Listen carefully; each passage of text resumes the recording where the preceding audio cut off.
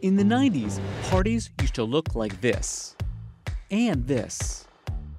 People focused on decorating a room, but now wearables are king. The biggest change in our business really has been the development of wearables. Party City customers want hats, funny glasses, ugly sweaters, and clever costumes. That's especially important during Halloween, which makes up 20 to 25% of Party City's annual sales. But in 2019, the company's offerings didn't resonate with shoppers. Halloween is Party City's most important season. Its financial results for October are eagerly anticipated by investors. In 2019, Party City said its October results were disappointing. Party City's revenue for the fiscal month was $432 million, 7% less than in 2018. The stock crashed 67% in one day.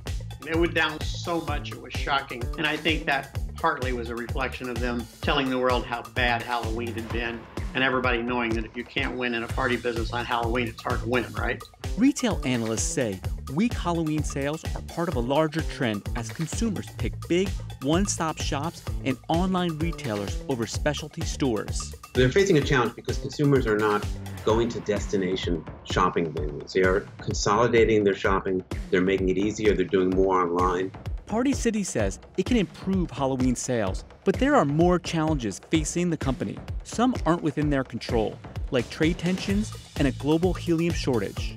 But others, like an outdated e commerce platform, show the brand just might not resonate with consumers anymore. In 2019, the company plans to close 54 of its roughly 900 locations in the U.S. Consumer patterns are changing. Can Party City change too? Party City is both a retailer and a supplier, so it produces most of what it sells in stores. That's rare in retail. In addition to operating about 900 stores, Party City also claims to be the world's largest designer, manufacturer, and distributor of party goods. Through its wholesale business, over 40,000 retail locations worldwide sell its products, including some of its biggest competitors. Right now, that's really the healthy part of the business, right? That's where they're making their money, and that's what's keeping them in the game, and that's why people aren't too worried about them going broke before 2023 or someplace out there. On the other hand, yeah, you're competing with yourself. Party City actually started out as just a retailer. In 1986, entrepreneur Steve Mandell dreamed of opening a store, and he saw a big opportunity in the party goods market. At the time, there were lots of independent family owned shops selling party supplies, but no major retailers. Mandell scraped together $125,000 and opened the first Party City in East Hanover, New Jersey in 1986. Early on, Mandell saw huge potential in Halloween. By his second year of business, he turned a quarter of his stores into a Halloween costume warehouse. By 1993, Party City had 58 stores and revenues of $2.4 million. One year later, in 1994, Party City's net profits more than doubled. And Mandell's ambitions grew too. He envisioned a chain of a thousand stores and decided to take the company public to achieve that growth. Investors saw potential for Party City to become a category killer. That's when a store or chain absolutely dominates a specific category by offering lots of products at a competitive price. Some past examples of category killers are Toys R Us, Best Buy, and Home Depot.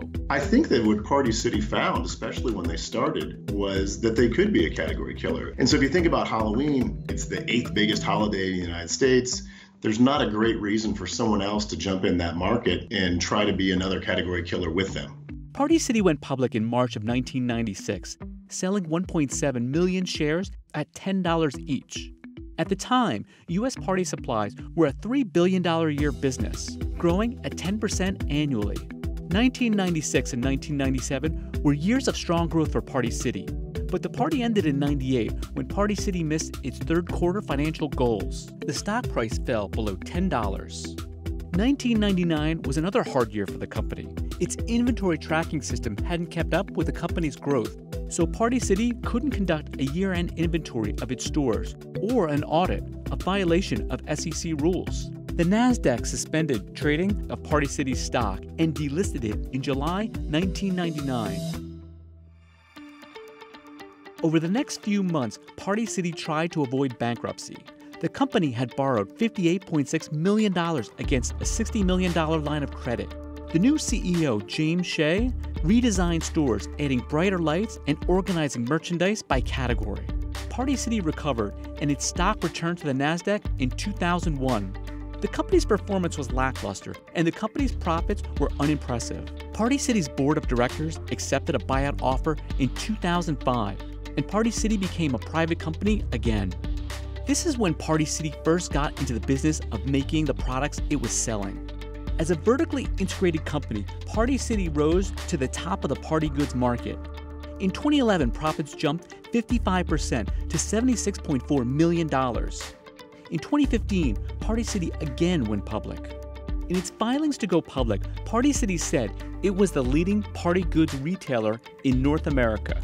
Shares rose more than 20% when the company went public after pricing its IPO at $17. That interest didn't last long. In its first year of trading, shares of Party City fell nearly 12%. Since 2015, shares of Party City have fallen close to 90%. But by the numbers, it's a pretty healthy company. These guys still make money all the time, and most of their stores make money.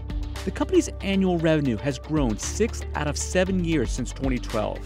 Despite Party City's profitability, its retail business has shown signs of a struggle. Sales at stores open more than a year have been negative for seven out of the past nine quarters.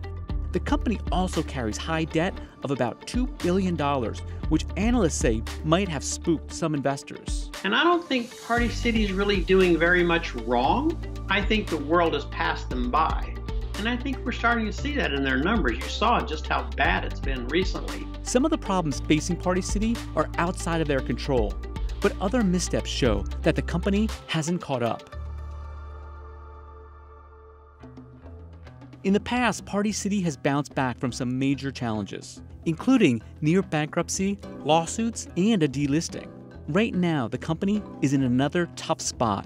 Ever since its second year in business, Halloween has been the most important time of year for Party City. Each season, the company opens hundreds of Halloween pop ups, hiring seasonal workers to guide customers through picking the perfect costume. Sales for the holiday have been weak for the four years since 2016.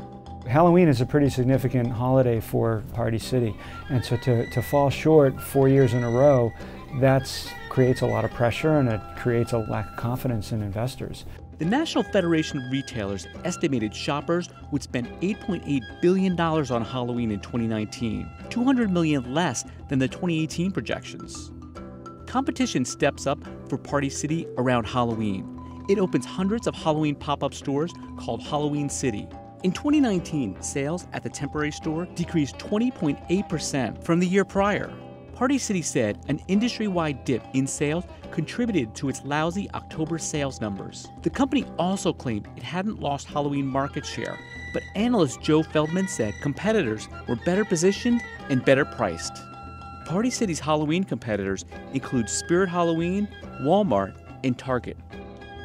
Halloween and third quarter results in 2019 sent Party City's stock tumbling 67% in one day, from $6.10 to $2 a share.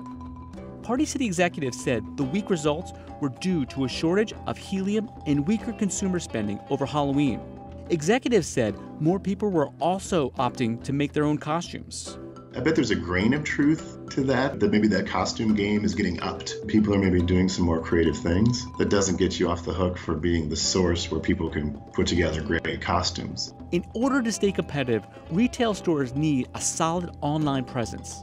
If you've shopped at Party City recently, you might have noticed it doesn't have a designated desk for customers who buy products online to pick up in store. That, plus the absence of self checkout, can cause huge lines at Party City. I think when you walk into an environment and there's 50 to 100 people in line, you probably just shake your head and think, why would I have to deal with this?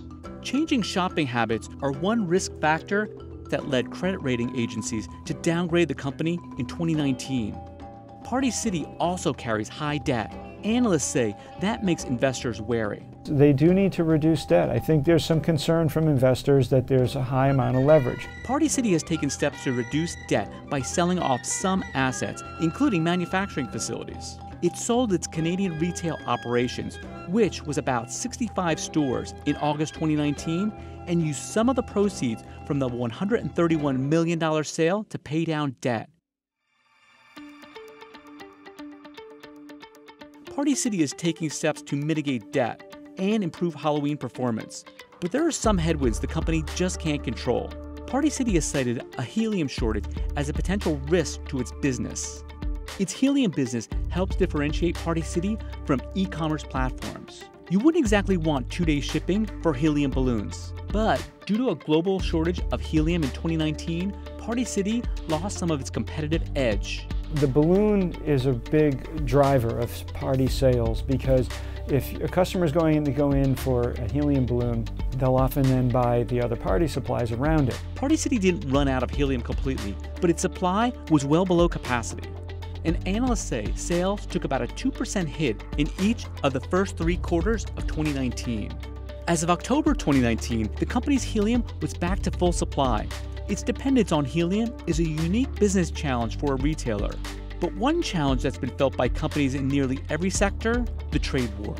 Party City said tariffs on Chinese imports caused temporary operation disruptions in the second half of 2018 due to increased freight costs. Importing its products made in China was more expensive for Party City, as of August 2019, about $50 million worth of Party City products were subject to tariffs of 25%. Analysts say the company dealt with tariffs by moving production to other countries and raising retail prices on certain products. Party City said China tariffs hurt Halloween 2018 sales, but one analyst told CNBC the tariffs didn't make much of an impact on its 2019 Halloween sales. Party City's done a very good job mitigating a lot of the tariff pressure, but there is some bit of tariff pressure, and it was weighing on the company's business for the past year. Retail experts say Party City is losing relevance with some consumers. On earnings calls with analysts, executives are trying to figure out how to get it back. I believe Party City has some strategies in place to turn around the business, to have more dedicated sales associates to help plan parties when you're in the store, and just really to make it a more exciting and invigorating experience. Party City has the advantage of low competition in wholesale. The party goods they make are sold in 40,000 retail stores. In this day and age, they have to do a very serious look at are we going to be a wholesaler? Are we going to be a retailer? Are we going to be both? In order to compete with Amazon, analysts say Party City needs to sell a unique shopping experience customers wouldn't find online. Those are long term problems that question the very structure of the business, and they don't have an easy answer. But there are some upsides for the company in the short term. Investors are still cautious about Halloween results, but in 2020, the holiday falls on a Saturday. That indicates consumers will spend more. Although analysts warn the November 3rd presidential elections could put a damper on spending.